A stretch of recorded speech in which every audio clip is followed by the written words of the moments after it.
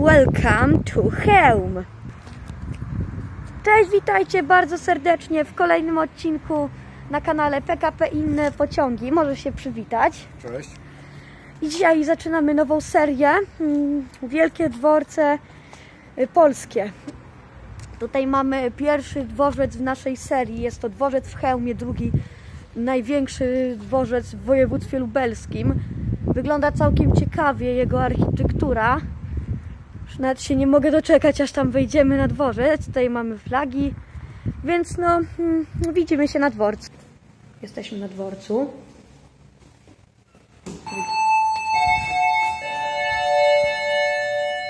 Co to było? Uwaga!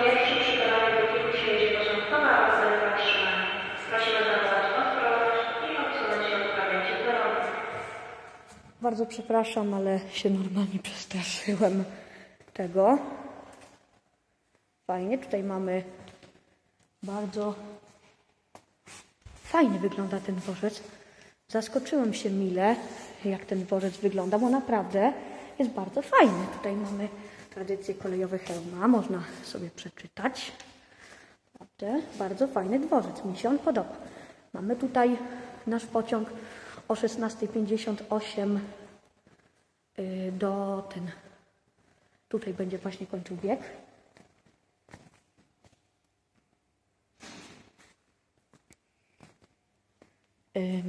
Z tego powodu, że y, Chełm jest blisko Ukrainy, mamy tutaj napis ukraiński. Jakby ktoś chciał, jakby ktoś był z Ukrainy i by nie zrozumiał, tutaj mamy napis ukraiński. Tutaj mamy odjazdy, przyjazdy. Było krótkie cięcie, tutaj mamy zegar, przyjazdy. O, Teraz idziemy a tam mamy peron i zaraz przyjedzie pociąg towarowy. Nawet tam już go widać jak jedzie. Niestety on już nam odjechał. A to nic, tutaj widać jest ta poczekania. Jeszcze tam są tablice informacyjne. Daleko. O. Naprawdę dworzec mi się bardzo podoba. Jestem nim bardzo mile zaskoczony. Nie wiedziałem, że taki fajny dworzec Chełm posiada. Też się chyba może ze mną zgodzić, że bardzo fajny dworzec to jest. Architektura też bardzo fajna. No, taka komunistyczna mi się to bardzo podoba. Tam jest zejście do toalet, ale raczej tam nie będziemy iść. Kiosk. Trasa napoje. Tak, kiosk, prasa, ten kolporter, prasa. Dobra, wyszliśmy już z dworca. Jesteśmy na stacji. Tutaj mamy peronki. Tutaj mamy, że wejście na, wejście na dworzec, ale my już byliśmy, więc nie wejdziemy wchodzić. Tutaj mamy regulamin ze stacji Chełm korzystania. Naprawdę, jeżeli macie blisko i się interesujecie koleją, to naprawdę polecam przyjechać na ten dworzec, bo jestem nim bardzo mile zaskoczony. Dobra.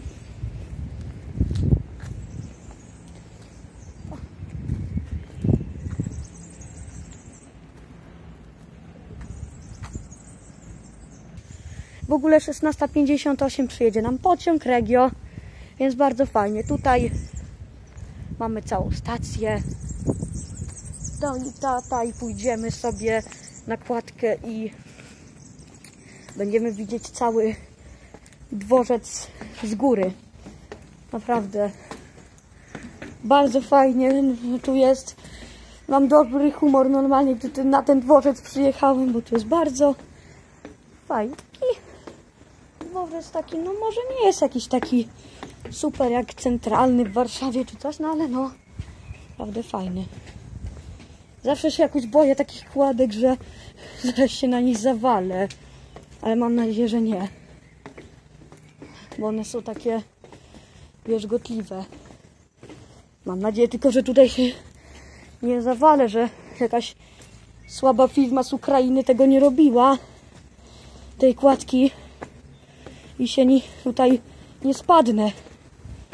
Będę bardzo ostrożnie tutaj iść.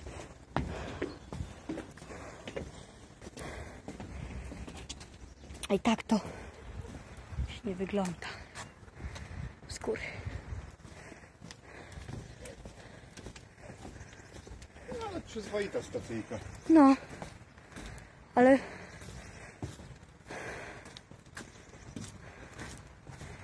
stąd jeżdżą i pociągi e, TLK, na przykład TLK Chełmianin.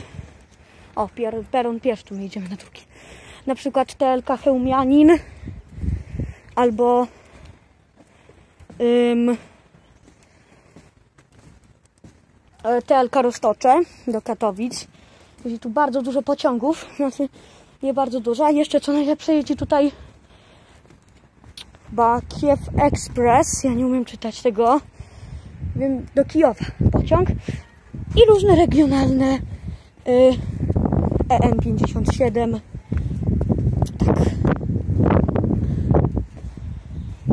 Nie będę mówić jak są zwane, bo są brzydko zwane EN57, więc nie będę mówić jak się na nie mówi, bo jest, to jest brzydko, więc nie będę mówić potoczne wersji na tutaj mamy widok na stację. E, dworzec, przepraszam, tam jest dworzec, tutaj Tam stacja. w oddali widać starą ciuchcię. O. Parobóz. Tak. O, tam oddali właśnie widać. Nie zawaliła nam się kładka.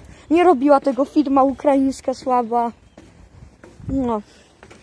Właśnie, taka fajna stacja. Sprawdzona wszystko, znaczy nie to ja teraz gadam.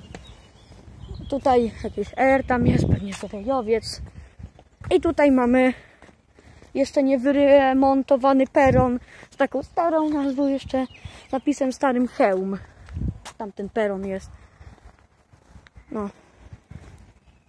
Tam jest jeszcze Biedronka. Można zrobić sobie zakupy przed podróżą. Jak się gdzieś jedzie w daleko podróż, zresztą tutaj blisko stacji jest Biedronka i można zrobić zakupy. Jak się jedzie w jakąś daleką podróż, nawet krótko, bo dobrze mieć coś do jedzenia, jak się jedzie w podróż, bo człowiek zgłodnieje i no, jak słabo jest, jak człowiek zgłodnieje pociągu, a tak to se kupi, pójdzie do Biedronki, se kupi coś do jedzenia pysznego. Jakieś chrupki, kanapki, znaczy, nie wiem, kanapki to się robi w domu. No, no, jakieś takie chrupki, jakieś różne chipsy, nie wiem, teraz wymyślam takie słodkie rzeczy, ale innych rzeczy mi do głowy nie przychodzą. No ale teraz on nie, jest odcinek o jedzeniu na podróż. Ym, tak. Teraz mamy odcinek o stacji, więc ja tutaj gadam o jakimś jedzeniu na po- na podróż. To jest, niepo...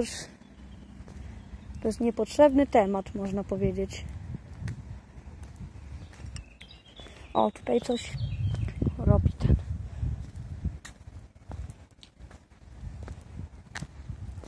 Tak e, tutaj, coś tutaj tak zaskrzypiało, czy nie wiem. I nie wiem, czy coś zaraz przypadkiem. Chyba tak mi się zdaje, bo tam mi już towarzysz kanału mówi, że trzeba by było niedługo skończyć odcinek. I ja też takie mam zdanie, więc jeszcze tak tutaj zrobię ujęcie na lokomotywie, więc myślę, że to by było na tyle i cześć.